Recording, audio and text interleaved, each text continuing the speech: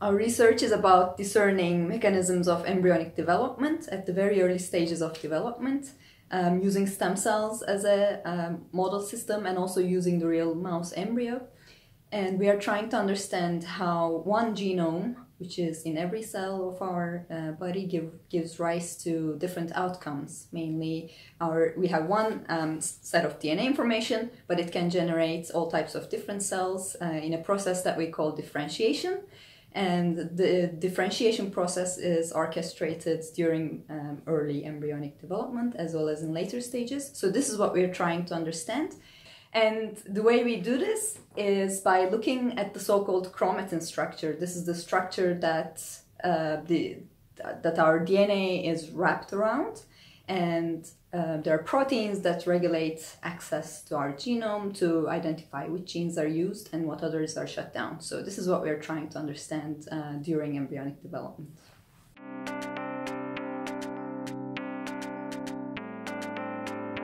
The Sofja Kovalevskaja Award is uh, really precious for um, this career st stage to set up my independent research group because it gives us the flexibility to hire excellent researchers and also to be largely free from uh, administrative constraints and to devote uh, the majority of, at least the majority of our time to um, to research to really follow up the most interesting questions that we want to follow up.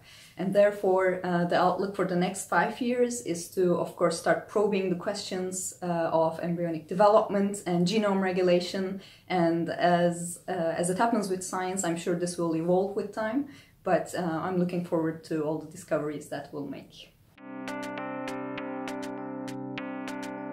My advice to younger scientists is to really follow your passion, find a question that uh, you are excited about, and use scientific rigor to address it. Um, unfortunately, in the scientific world right now, it's uh, it's about publishing more than uh, following the interesting questions.